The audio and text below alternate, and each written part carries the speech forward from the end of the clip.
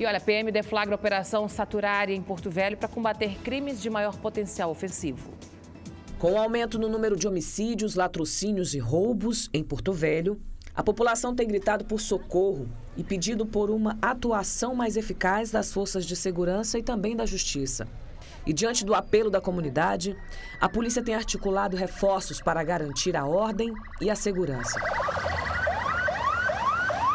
A Operação Saturari foi deflagrada pela PM e tem por objetivo prevenir e combater crimes de maior potencial ofensivo à comunidade. Essa operação é, tem, foi batizada como Saturari, é uma operação de saturação e com previsão de término às duas horas da manhã de sábado. O foco dela é, primeiramente, a gente dar um, uma resposta né, nessa, na criminalidade que a gente tem visto a, a, noticiado que uh, está com, querendo, com um crescimento né, de, de, da criminalidade na, na, capital e o objetivo então é, é uma repressão e por isso que nós estamos trabalhando somente nessa operação com início com as tropas especializadas. A ação policial nessa operação teve como ponto de partida os dois residenciais populares, o Orgulho do Madeira e o Morar Melhor.